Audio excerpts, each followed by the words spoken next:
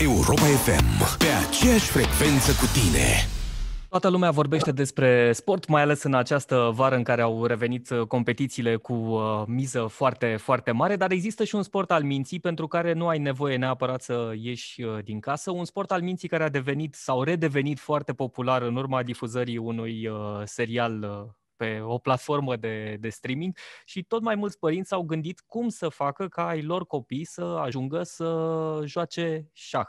Și uite așa am ajuns la o poveste foarte frumoasă din România, o poveste pornită de Federația Română de Șah cu sprijinul uh, Rompetrol.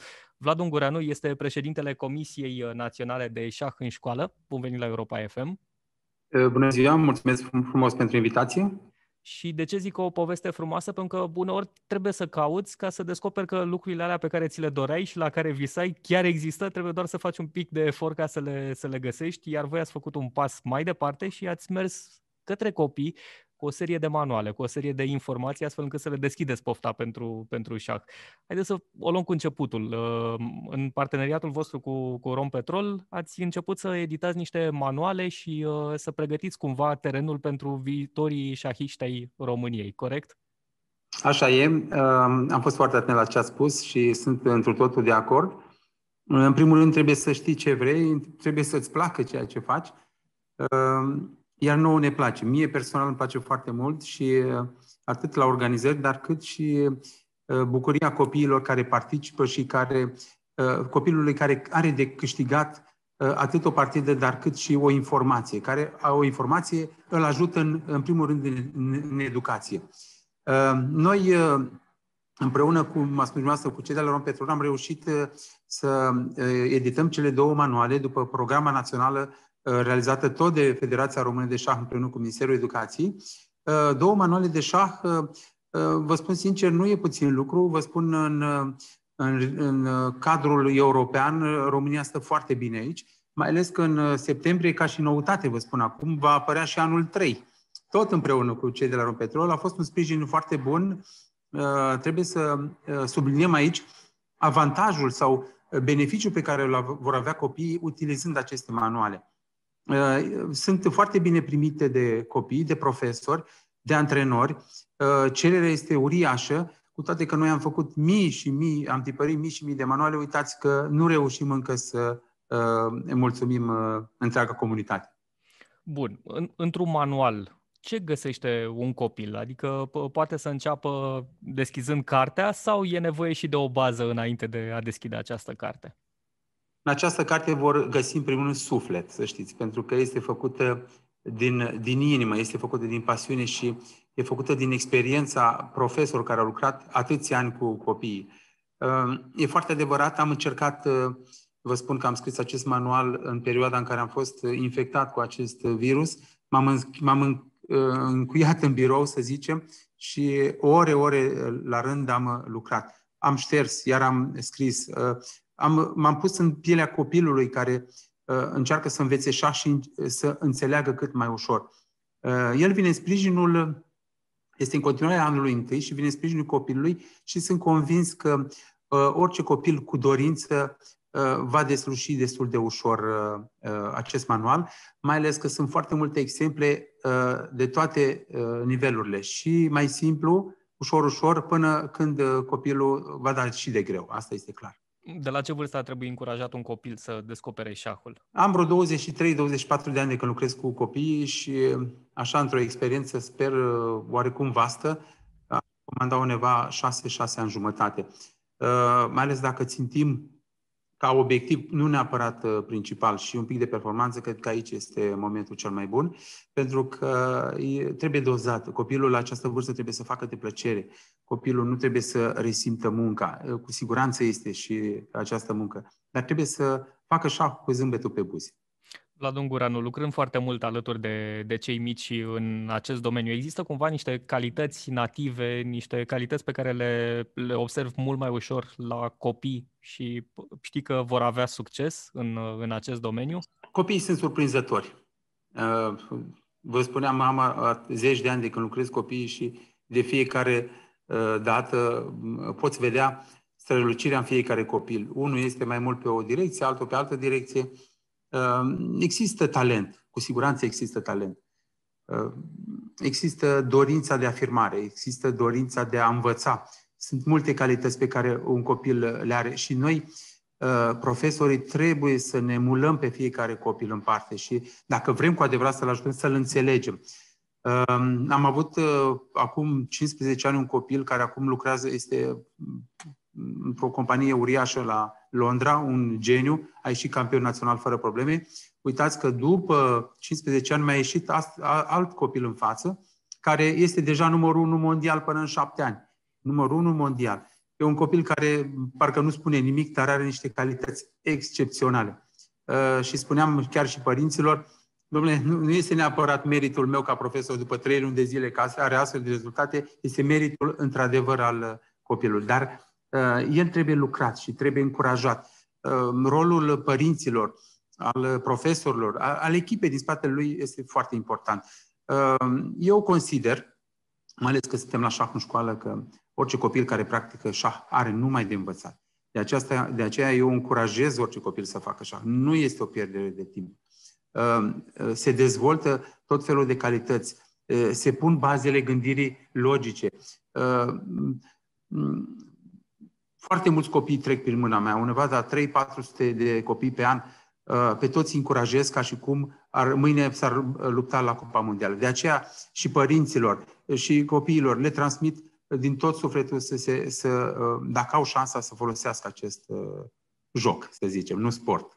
Bun, începem cu manual, începem cu, cu bazele, după care putem să ajungem chiar și la campionatul național de șah pentru copii și junior pe echipe în plină desfășurare de la începutul acestei uh, săptămâni. Ce presupune un asemenea campionat? Cum se desfășoară el în, uh, în practică? E o luptă puternică acolo, pentru că, fiind un campionat național, uh, un lucru care nu se vede, să știți că vin unii dintre cei mai inteligenți copii din țară. Cei care ajung acolo au niște capacități excepționale Uh, fiind pe echipe, sunt uh, trei copii de la același club, uh, într-un anumit prag de vârstă, din 2 în 2 ani, până în 8, până în 10, până în 12, 14, 16, până la 20, și se luptă cu alți trei copii de la alt club. E un campionat național tradițional, este foarte bine văzut de copii, pentru că șahul este individual, dar aici se joacă pe echipe și atunci, chiar dacă pierzi o parte de la o anumită masă, ceilalți doi colegi te pot, uh, pot întoarce rezultatul. Și atunci, uh, așa cum îmi place mie să spun, intervine și ideea de suflet aici și de ideea de empatie față de colegii de alături și, uh, de ce nu, echipa care, un cuvânt pe care eu îl iubesc foarte mult. El se va desfășura pe parcursul a șapte zile în sala sporturilor din Iași. Avem sala arhiplină acolo, toate măsurile de siguranță Uh, le folosim la maximum.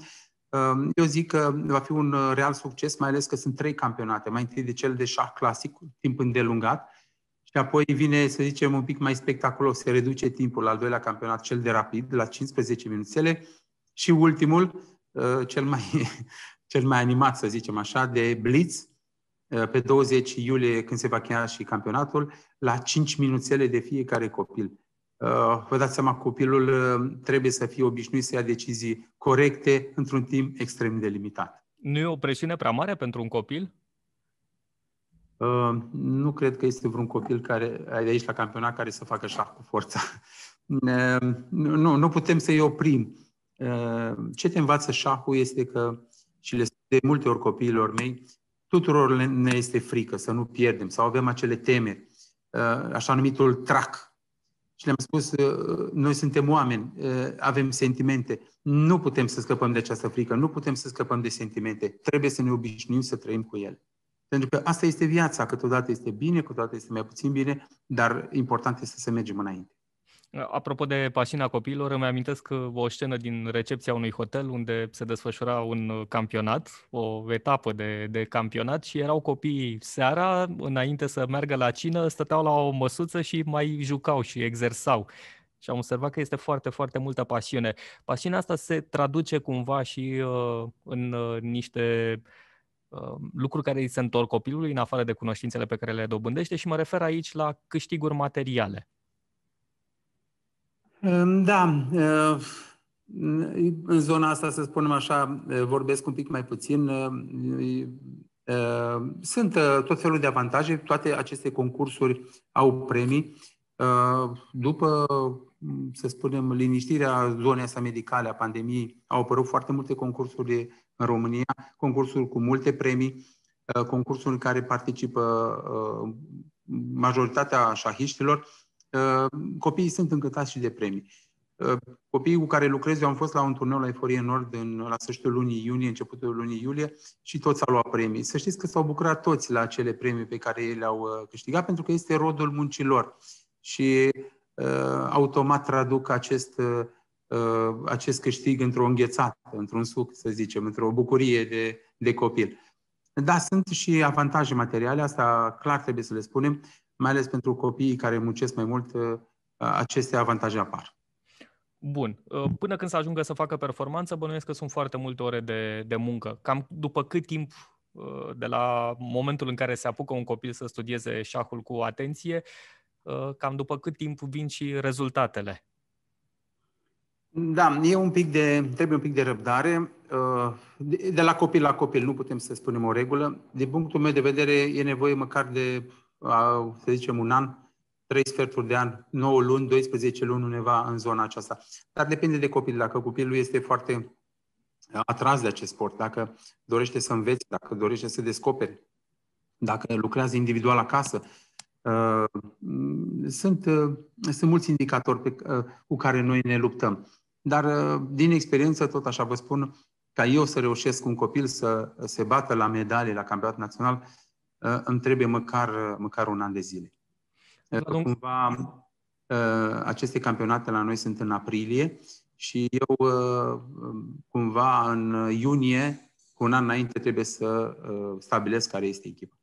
Vlad Ungureanu, pentru părinții care vor să își îndrume copiii pe, pe acest drum, care, care ar fi pașii de urmat? În primul rând să stabilească o legătură cu un club din orașul lor, pentru că uh, sunt multe cluburi, sunt uh, în jur de 250 de cluburi de, de șah. Uh, cel mai bine este să, pentru un copil să înceapă într-un grup. Adică n-ar fi bine neapărat direct cu un profesor, cel mai bine este să facă parte dintr-o, dintr-o clasă Uh, să lucreze copiii. Au o mare problemă, mai ales că ei vin de acasă, câteodată sunt mai alintați, nu vor să piardă de la mama, de la tata, dar împreună copiii învață să câștige, învață să piardă, care și nu este o puțin lucru, să știți. Uh, asta este prima etapă. Ei învață, uh, fac niște automatisme, învață niște reguli clare, după care rămâne la dorința fiecărui, la atitudinea fiecare să se decide dacă vrea să facă următorul pas.